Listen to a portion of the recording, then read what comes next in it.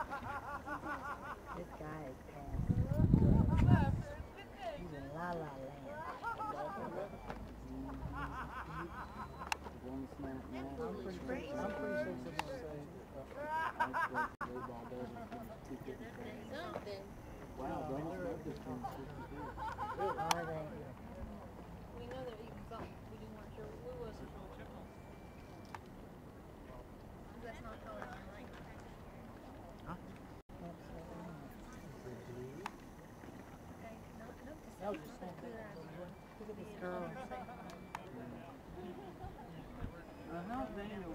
I guess Daniel's leaving tonight. Oh.